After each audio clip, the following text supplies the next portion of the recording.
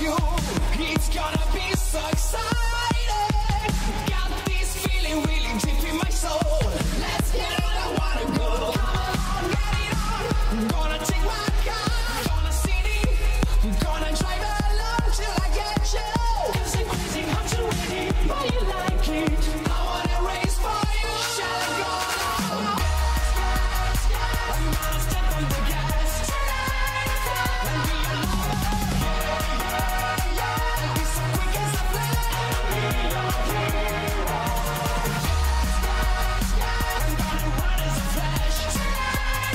to be the leader. Yeah.